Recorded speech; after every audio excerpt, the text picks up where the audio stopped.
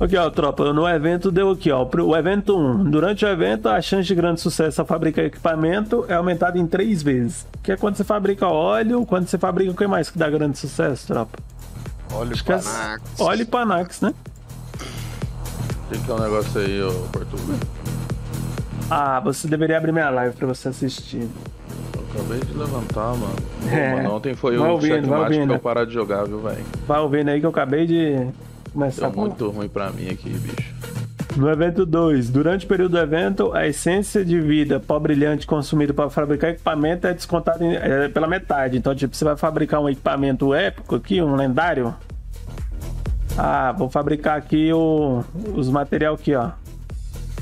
Cadê? Aqui.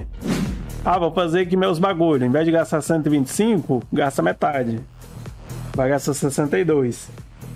Tá ligado? Então, pra você craftar seus épicos, ao invés de gastar 25, vai gastar 12, vai gastar metade do pó. Durante o período do evento, o custo de ferro preto, Dark Shield e moeda consumida fortalece é reduzido pela metade. Então, basicamente, o item inteiro, né? Vai ser a metade. Novos produtos de moeda da loja. Aqui, ó, diminui o invocação diária lá para o valor do, da invocação diária, aquele que teve aquela vez de uma moeda, né? No- Só que no caso foi para 365 moedas. Moeda de, de cobre, né?